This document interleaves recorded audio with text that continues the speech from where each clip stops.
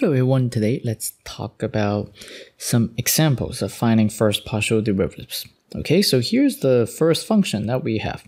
Um, we are going to find the first partial derivatives. As you can see that this is plural, so that means we need to find both uh, fx and fy. Okay, so fx is what? fx is the function that we get when we are differentiating f with respect to x. And then we can also write notation this way. So partial f and then over partial x. Okay. And then so now what are we going to do? So because we're differentiating respect to the x, so we are going to treat x as the variable while we are holding y as a constant. Okay, so what happened is that we focus on differentiating just the square root of x. And what is the derivative for square root of x? Well, first we can write it in the form of the x to the 1 half, okay? And then we still have ln of y, okay? So now when we take the derivative of x to the 1 half, that will be easy. So we use the general power rule. So we bring down the 1 half. And then we are going to get x to the negative 1 half because we subtract 1 from the 1 half. And then you may say, what about the ln of y? ln of y, because y is being treated as a constant, and so ln of y is also a constant. This is a constant multiple of our function x to the 1 half. So we are going to just leave it there. And so as you can see that this is already the answer. But now if you want to simplify it, then we can just quickly do that. Uh, we have ln of y, okay? And then in the denominator, we have the 2. Then because this x has a negative exponent, so we can move it to the bottom and then convert it back to a square root. So we are going to get square root of x. Okay, so that is our fx. And then the other one is the fy. And so this time we are going to differentiate with respect to y. So we can also write it as partial f over partial y. Okay. And now if you just look at this, this is the function that we are going to focus on. Okay, so what about the x to the 1 half? This time we are treating x to the 1 half as, as a constant multiple for the function.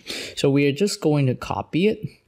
And then now we differentiate the ln of y, which is what? Which is 1 over y. Okay, and then we are actually finished. So we have square root of x, because I'm just writing it back as a square root. And then we have the y in the denominator. Okay, so that's it for this problem. Let's look at another example. Okay, now second example. This time we have a rational function. So we can have a y in the top and then we have x plus y quantity square at the bottom. Okay, and then you may say, what should we do? Uh, first, we are going to think about how to write this or simplify this so that it will be ready for us to take the derivative. We can actually just take the derivative by uh, as is, right? But uh, it probably will be easier if we uh, change this. Instead of having a quotient, we can actually move it to the top and then have a negative exponent, which will give us a um, something that may be nicer, but it's really up to you. So if you want, you can use the quotient rule. Okay, so um, let's actually just try to move it up so that we don't need to use the quotient rule. We can use the product rule instead. It depends on which variable that we are differentiating with respect to. Okay, so now we have uh, y, and then this one it will be x plus y to the negative 2. Okay, so we are actually ready to differentiate. Okay, so we have fx of xy. Okay, so now we are differentiating with respect to the x. And then you may say, what about the y? We don't really need to use the product rule here because the y is being treated as a constant multiple for this function. So we are just going to copy it first, okay? And then now what happens is that we are going to differentiate this function, which involves the x in there. So we are going to bring down the negative 2, which will give us negative 2 in the front. And then we have x plus y, 2 Okay, so we subtract 1 from this one. So we're going to get negative 2 and then minus 1. Okay, so minus 1. And then that's not finished yet, right? Because we are still having the inner function. And by the chain rule, we need to multiply by the derivative of the inner function. What is the derivative of the inner function? Because we're differentiating with respect to the x, so the x becomes a 1, and then we have a y here. This time it's an constant alone. So we are going to get zero for this. Okay, so the x will give us the 1 and then the y will give us the 0 when we differentiate it. And of course, this will just give us what? This is simply just 1, so we don't need to worry about it anymore. And so we can simplify this expression over here. So we are going to get what? Uh, the negative 2 is being put at the top. And then the y is also being put at the top. And then in the denominator, because we have a negative exponent here, so we can bring it to the bottom. So we get x plus y to the third power because that's negative 3 so we have the third power at the bottom okay so now fy so this time we are differentiating f with respect to y and this time we actually will need to use the product rule because both functions over here let's highlight them. So the first one is this one and then the second one is this one okay? They both have a y in it okay? So, so because they both have a y in it so we are going to use the product rule. So first thing is that we are going to differentiate the first function okay so we are going to get what? Differentiate the respect to y. So we are going to just get um, 1 okay? So the y becomes a 1 and then we're just going to copy the second function. So we get x plus y to the negative 2 okay. Now what about the next one? And then now plus, okay. And then we copy the first function now, so just y. And then we differentiate the second function. So now differentiate this one with respect to y. So we are going to, just like before, we are going to bring down the negative 2. So we have the negative 2 over here. And then we are going to get what? x plus y then we don't change the inner function. And now this one, same thing over here. So negative 2 and then minus 1. Okay. And then times what? Now times. This time it would be 0 plus 1 because the x will give us 0. When we differentiate the x, we get 0. And then for the y, what happens? We differentiate with respect to y. So we are going to get 1. Okay, so as you can see that this will still just be 1. So we just need to focus on simplifying this expression here. Uh, let's simplify it. So here we get the negative 2 in the denominator. So we get 1 over, what is that, x plus y to the second power. Okay. And then here we get a negative, right? So we get negative, and then put the 2 and the y at the top. So we get 2y. Then what do we get here? x plus y that's negative 2 minus negative 1. So, I mean, negative 2, not minus negative 1. It's negative 2 minus 1. So we are going to get negative 3, which will give us a 3 here. If you want to simplify, you can uh, do that by getting the common denominator. Then you can uh, you can you can combine into a single fraction, but I'm not going to do that here. I'm going to move on to um, to talk about another example for taking partial derivatives because our main focus right here is not to learn how to simplify those functions using algebra. Okay, so let's look at the next example. In this third example, I want to show you uh, how to find the first partials for a function of three variables. So you can see that w is a function of what? x, y, z, okay? And we do have x, y, z in the expression. And so now that means we are going to get three answers because we are going to differentiate with respect to x, with respect to y, and then also with respect to z. Okay, so let's get started. So we are going to have w and then um, take the derivative with respect to the x. And so we are still going to have x, y, z inside the parentheses. Okay, so now let's take a look at this. So we have, basically you can have, you can treat this as three functions multiplied together. First one is x, second one is y, and then the third one is e to the yz. And as you can see that there was no x involved in the second and third function. So we only need to worry about just the x.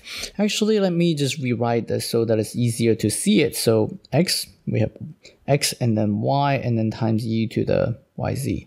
So you can see that those are the three functions that we're looking at. But it just happens that there was only the x in the first function, but there was no x in the second and third function. So we treat this y times e to the yz as a constant multiple of the x. So we just copy it and then we differentiate the x with respect to the x, which will give us what? Just give us the, the 1. Okay? And then what about the other stuff? Just copy. And then of course we can simplify it, which will really just give us that simple answer. Okay, so that is for Wx. And then now Wy. Okay, so this time is more work. Okay, so now let's take a look at this. First function can be treated as a constant multiple because there is no y involved in here. There is a y here, there is a y here. Okay, so we gotta use the product rule because the, the two functions have the y involved. Okay, so now we can actually treat this xy as just one single function if you want to so we can simply just do um, we can do this so let me highlight the functions over here so we are going to get so xy okay as one function and then e to the yz as the second function. So now we take the derivative of the first function when we are using the product rule. So we are going to get what? Differentiate respect to y. So that means the y becomes a 1 and then the x will stay so we get x and then times 1. Okay, so that's that part. Then what about the second function? We just copy. Okay, now next we are going to copy the first function. So just copy x times y. And then now times what? The derivative of e to the yz. So now this time we are going to differentiate this one. The derivative for an exponential function first is that we are just going to just copy that first and then we multiply by the derivative of the exponent, which is the inner function. So the derivative for the yz with respect to y is that the y becomes a 1, and then the z is a multiple, right? So we just get the z here. Okay, so uh, this is basically finished, but we should clean up the expression so that it looks better. So we have x times 1 times this, so x e to the yz. And then plus this one, multiply them all together, we get x, y, z, e to the yz. Okay, so wy is finished. Okay, now wz. This one is actually easier. It's really because if you just look at the, the three functions over here, right? We can actually erase the highlights right now there is only the z involved in the third function. So the x and y, you can actually just treat it as a constant multiple. So we're going to just copy them. And then now differentiate this function, which will give us what? The same thing first. And then we need to multiply by the derivative of the yz with respect to z. So the y constant again, right? Constant multiple. And then what about the z? The z becomes a 1, so we are just going to get the y. So the final answer for this one would be xy squared because there was a y here, there was another y here. So xy squared, and then we have e to the yz.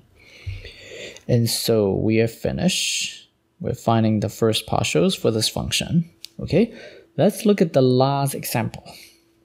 Last example over here, I just try to make things more complicated so it looks more complicated over here, but it's actually not too bad, okay? So um, we are going to still have uh, this differential respect to the x and this differential respect to the y. So now we are getting a function of two variables, okay? So first, g sub x of xy. Okay, so let's take a look at this. Because we're differentiating respect to the x, and we have two functions, a product of two functions over here. So let's take a look at this. First one is x squared. Okay. Second one is going to be the whole cosine function, which has an x in it. And so that means we got to use the product rule again. Okay. So now x squared. So we differentiate the x squared, which will give us 2x. And then what about the second function? Just copy. Okay. Continue. We copy the first function. And then now the second function now we gotta do it step by step, okay? So times, take the derivative of the outer function first, which will give us the cos, uh, the sine, right, from the cosine. So we get negative sine here. So we need parentheses or brackets. And then we don't change what's inside the function. So make sure that you still just copy, okay? And then now times what? Times, well, actually I should be using a different color for this one. So let's start over. So we get negative sine of xy cubed. Okay, so that's that one. And then now times what? Times the derivative of the inner function. Okay, because we're differentiating respect to the x, so the x becomes a 1. And then times what? Times uh, the y cube. The y cube is just y cube. because y is being treated as constant right now. Okay, so we are going to um, simplify this expression here. So we are going to get what? 2x cosine of xy cubed. And then now minus, so we get minus, and then we get x squared, and then we get y cubed. And then we have sine of xy to the third power. Okay, so this gx is finished. Now we do the gy. gy is actually quite easy. It's really because we have what? We don't really have a y in this first function. So we can just leave it, right? So just copy. And then now take the derivative of the cosine, just like what we are doing here. So we are going to get what? We are going to get negative sine of now xy cubed. This one we're gonna still just copy it, okay?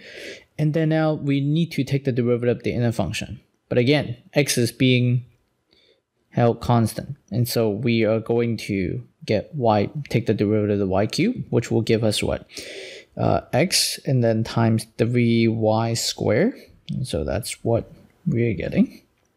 And then of course we can clean up this expression so that it will, will look better. So we get negative. And then x squared times x, we get x cubed. And then there was a 3, actually I'm missing a 3. So 3x cubed. And then y squared and then we have the sine function. So sine of xy to the third power. Okay, so that's it for all these four examples. I hope that by watching this video, then you actually get the idea of taking partial derivatives. As you can see that it's not even difficult. Actually, it may be easier compared to uh, when you're taking derivatives for single variable functions. Okay, so I will do more examples on Calculus 3 next time. See you.